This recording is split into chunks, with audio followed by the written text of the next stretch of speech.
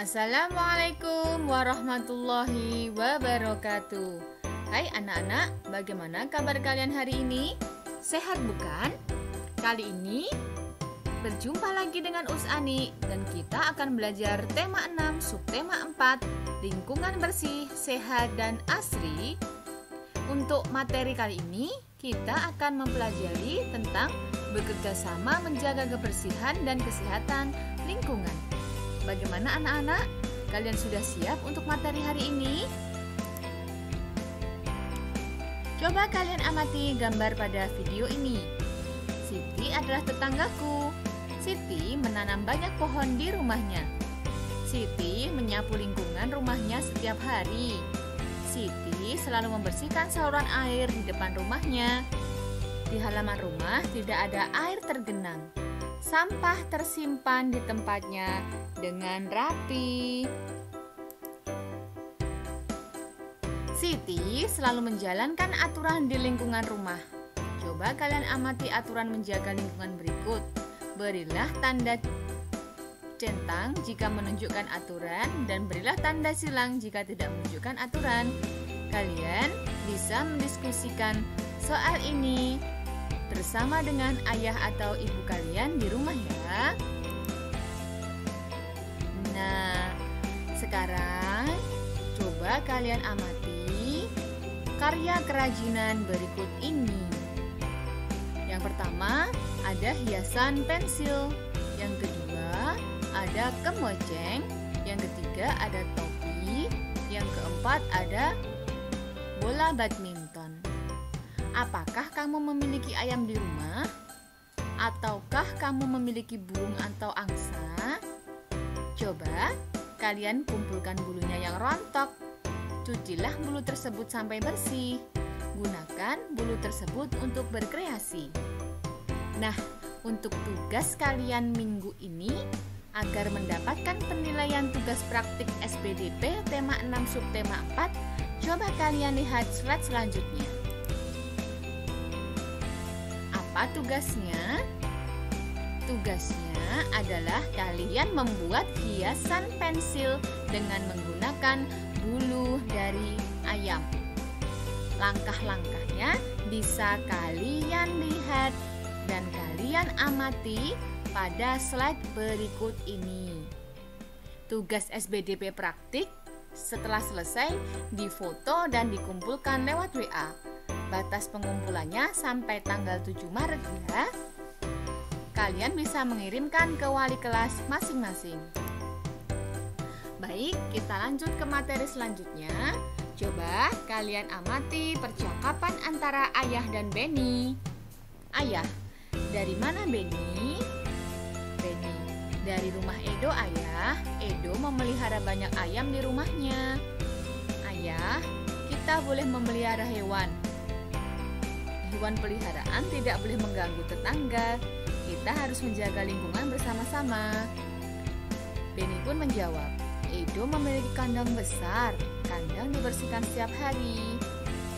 Ayah, hewan adalah makhluk Tuhan. Kita wajib menjaga, merawatnya. Cucilah tanganmu, di meja ada pisang rebus. Benny pun menjawab, terima kasih ayah. Ayah, jangan lupa cuci tanganmu sesudah makan. Benny pun menjawab, baik ayah. Nah, sekarang coba kita membaca cerita berdasarkan gambar berikut ini. Sore hari turun hujan disertai angin. Pohon berputar-putar ditiup angin. Pohon di dekat rumah Udin patah. Daun-daun berserakan. Orang-orang bekerja bakti. Mereka membersihkan lingkungan. Udin mengajak Edo bekerja bakti. Udin dan teman-temannya ikut bekerja bakti. Mereka menyapu daun yang gugur. Ada juga bunga dan kerikil. Mereka mengumpulkannya, lalu mereka menghitungnya. Amatilah gambar berikut ini, hitunglah banyak bunga, kerikil, daun di dalam kotak. Coba nanti kalian hitung bersama ayah dan bunda berapakah jumlah bunga, berapakah jumlah daun, dan berapakah jumlah kerikil yang ada di dalam kotak ini. Sekarang, mari kita berdiskusi. Udin senang ikut bekerja bakti. Ia mengajak teman-temannya berdiskusi.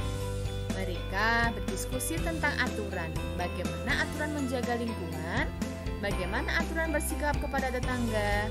Setiap anak memberikan pendapatnya.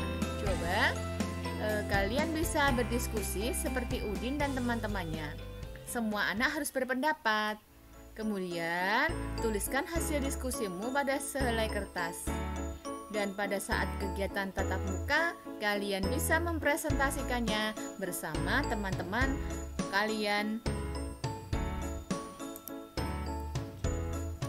Nah, sekarang coba kita meniru gerakan mengejar ayam. Edo bercerita di sekolah. Ia bercerita tentang pengalamannya. Pada suatu hari, ayam Edo lepas Edo takut ayamnya mengganggu tetangga. Edo pun mengejar ayam sampai tertangkap. Edo berlari dan melompati pohon kecil, bertolak, melayang di udara, lalu mendarat. Kalian bisa amati gambar berikut ini. Nah, coba kalian bisakah meniru gerakan Edo? Lakukan bersama teman-temanmu. Gunakan baju olahraga dan lakukan pemanasan supaya kita tidak cedera. Selanjutnya anak-anak, mari kita belajar membaca. Kalian bisa amati gambar berikut ini. Iya, Siti diajak oleh ibu untuk menemani ibu berbelanja ke pasar. Pasar Siti tidak jauh dari rumah Siti. Siti ternyata sangat senang diajak berbelanja. Di pasar, Siti mengamati buah-buahan dan sayuran. Nah, coba nanti kali pun, kalian pun bisa berlatih bersama ayah dan bunda untuk menghitung berapakah banyaknya buah dan sayuran. Kemudian kalian bisa memasangkan dengan bilangan yang cocok di sebelah Kalian bisa amati gambar berikut ini. Apakah yang anak-anak lakukan pada gambar berikut ini? Iya, anak-anak bekerja sama membersihkan sekolah. Mereka merapikan kelas, perpustakaan, dan juga toilet. Nah, anak-anak, dapatkah kamu merapikan sekolah seperti Udin dan teman-teman? Coba kalian bisa melakukan bersama teman-teman kalian saat kalian belajar di sekolah. Nah, demikian tadi penjelasan video tema 6 subtema 4 dari Usani. Jangan lupa tugas SPDP praktik membuat hiasan pensil dengan bulu ayam. Cara kerja bisa kalian amati di penjelasan yang ada di video ini. Sampai jumpa lagi di pertemuan yang akan datang. Tetap semangat belajar dan jangan lupa sholat. Usani akhiri. Wassalamualaikum warahmatullahi wabarakatuh.